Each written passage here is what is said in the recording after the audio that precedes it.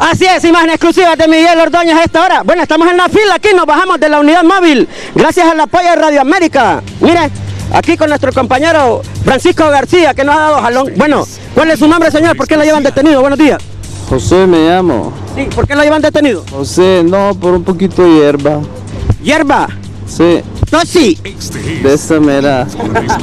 Ey, compa, un saludito ahí para toda la raza que fuma, que se pongan chiva, que vendan, que fumen todo lo que puedan mientras no los topen, ¿ok? Es todo. Mire qué cosa. Bueno, aquí va la hierba que le decomisaron, aquí van los agentes de la DPI.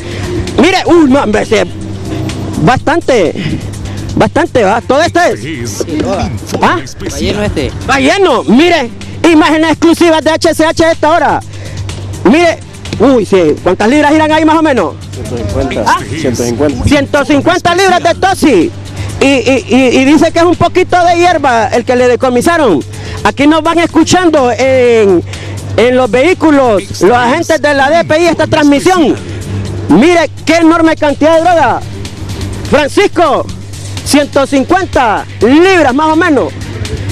Y, y dice el señor que es un poquito que le decomisaron. Abogado, imágenes exclusivas a esta hora. Aquí vamos, mire cómo está el tráfico de perro acá. En el anillo periférico, estamos exactamente aquí por la Fuerza Aérea. Vamos, Miguel. Un informe especial. Aquí llevan las personas. Son como 150 libras. No, hombre, si se habla un poquito ahí. Es que mire el bulto, pero esa madre no es un montón, es un poquito. Un poquito de droga. En la Montes de Bendición lo detuvieron.